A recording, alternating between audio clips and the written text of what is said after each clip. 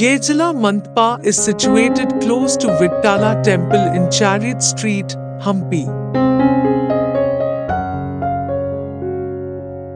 Gejjala Mantapa is a rectangular pillared structure with an elevated platform at the center. It stands all alone among coconut trees.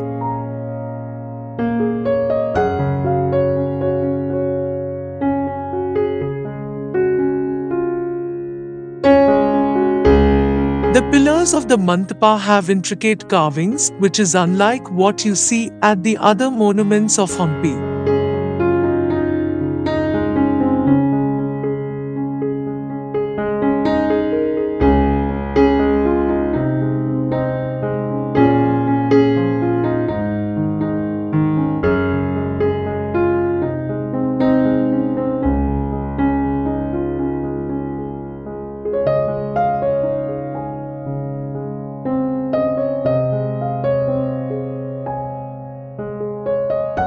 It is believed that the Mantapa was used for religious functions and that the platform was used during music and dance performance.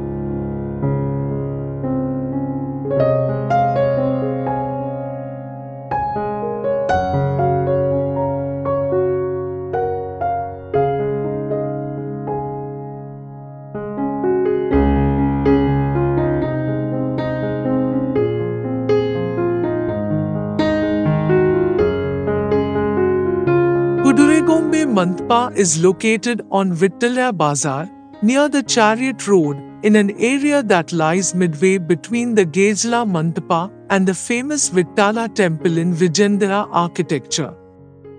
Highly decorated front pillars of the Mantapa has sculptures of horses with riders in Vijayanagara architecture, the name derived from the horse sculptures.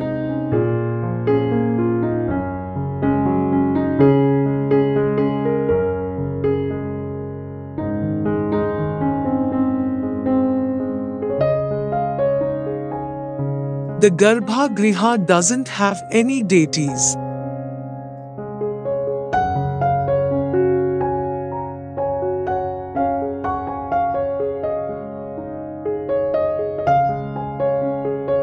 This structure was of some significance during the annual chariot festival or the boat festival held in the temple tank named Lokapavani Pushkarani just across.